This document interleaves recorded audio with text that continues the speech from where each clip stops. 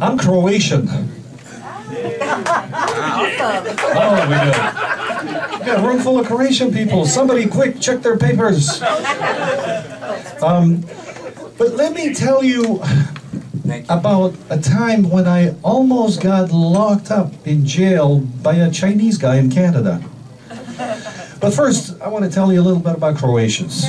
See, Croatians, they're traditional people.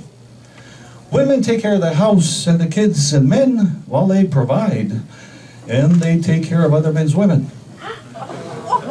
I know, see, in America, it's considered sexist. But I can't help it. See, I was born in that culture. There's no help for it. See, if you drink, there's a program you go to. If you do drugs, there's a rehab for you. If you're Croatian, you're screwed. I should have fixed that one a little bit.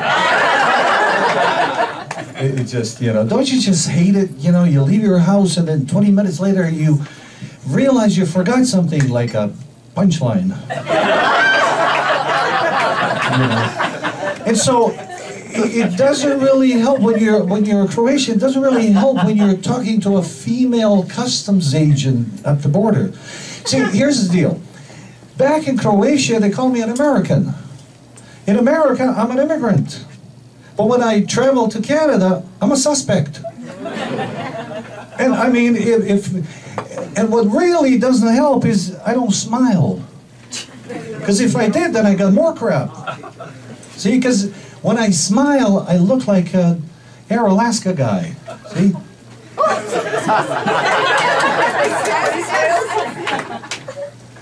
And so now I'm about to cross the Canadian border, right? And see, to me, it's all about intention and perception, okay? Because my intention is to go to Canada see mommy. Her intention is to keep me out of the country. But my perception needs a little bit of work. See? Well, see, often when we talk to people, we say something to them, but they perceive something else. Or when they say something else, we perceive something else from them. Are you guys perceiving my perception here? Because I don't like to complicate things that are simplicated. See? So I walk up to the border and I give her my paperwork, and she's looking at the uh, uh, passport, and she says, How often do you come to Canada? And to me, my perception says, Come here often. And I said, Well, two, three times a year. And she says, um, Who are you here to see? And now I'm thinking to myself, She's already jealous, but we haven't even started our relationship yet. and I said, Well, um, I'm here to see my mother. And she says, Well, she actually said, She says, Well, this is an odd time to see your mother when all the kids are back to school. I was like, I said, What? And so she didn't like it. So what does she do? She sends me to another customs agent, right? So I walk into this big room, and there he is, the Chinese guy protecting Canada. Did you ever notice with, with a Chinese dialect, it, it sounds musical. It's kind of like a song to me, right? So I walk up to him and give him the papers. And so, huh? Am I? Oh. I'm very sorry to interrupt your conversation. I promise I'll never do it again. Am I, am I okay to go now? I have a green light? Thank you so much. By the way, you ladies look lovely. Where the hell was I now? Chinese, yes. So, um, Chinese language to me is, is very musical. So I walk up to the guy and I give him the papers and I said, by the way, just so you know, I'm a Canadian. And he says, oh, you comedian, tell me a joke. And before I knew what was happening, right, lips are flapping and the lips are moving, the tongue is flapping, and out it comes. And I said, okay, well, um, there's um, there's an American and a Russian and a China. Oh, no, no, no, no, no. Oh God, no. That is so wrong. And, and so I said, oh, well, no, no, no, wait, that one didn't work either. Son of a bitch.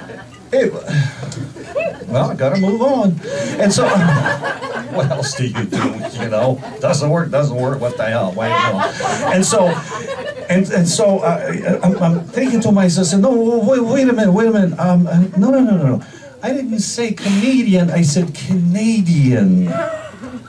And so he takes the paper, you know, wasn't amused, and he walks away. And I'm thinking to myself, okay, this is it. I'm going to get locked up by a Chinese guy in Canada. This, he did not look happy. And it was the longest 20 minute, 20 minutes of my entire life. He comes back. He's still not happy. And so he's giving me back the papers, and he says, um, I check your paper. You are free to go. I thought, well, okay, uh, uh, thanks for the song.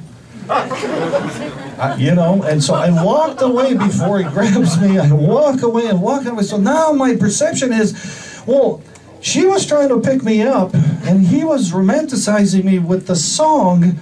All of that while they're keeping the Canadian border safe. And I'm thinking to myself, wow, Howard no, what the hell is his name? See, now I lost him. Oh, Howard Stern. I'm thinking to myself, Howard Stern, there it is. I'm thinking to my, I don't know what the hell I just, I swear to you, I don't do drugs. This is purely coincidental. I really don't. So anyway, I'm walking out before this guy grabs me, and, I, and, I'm, and I'm thinking to myself, I thought, Howard Stern, eat your heart out, because Canada's got talent too. Kind of God lost. Thank you so much for putting up with me in my time.